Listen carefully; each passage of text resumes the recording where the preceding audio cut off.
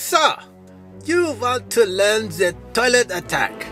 Well, my friends, you have come to the right place.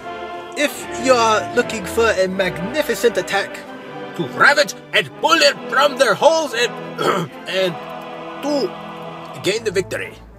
now as you may know, my army camp consists of 40 minions and 30 balloons.